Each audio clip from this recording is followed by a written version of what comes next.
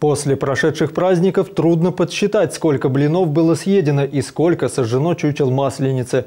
Но другая статистика, а именно количество обращений граждан в экстренные службы, тщательно фиксируется. Звонки жителей района поступают в единую дежурную диспетчерскую службу 112, которая работает в круглосуточном режиме. Традиционно в праздничные дни многие службы переходят на усиленный режим работы. По заявлению руководства, в службе 112 рабочий график не разделяется на праздники и будни. У нас усиленный режим э, практически существует всегда.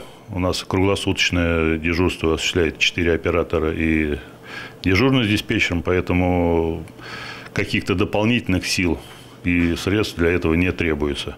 В среднем каждый из трех выходных дней в диспетчерскую службу поступало от 600 до 650 обращений.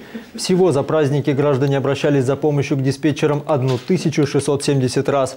Пожарную службу вызывали 6 раз, полицию 151, скорую помощь более 1100 раз.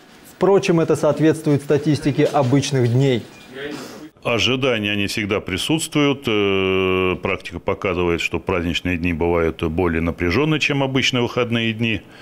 Э, но, как ни странно, ну, может быть, не странно, а нормально, эти праздничные дни с одним, э, с одним праздником, двумя выходными прошли довольно-таки спокойно в обычном штатном режиме. Сотрудники единой диспетчерской службы напоминают, что обращение можно совершить и с помощью мобильного приложения 112.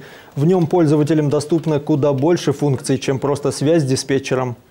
Здесь э, есть и английская версия, адаптированная английская версия для иностранных граждан.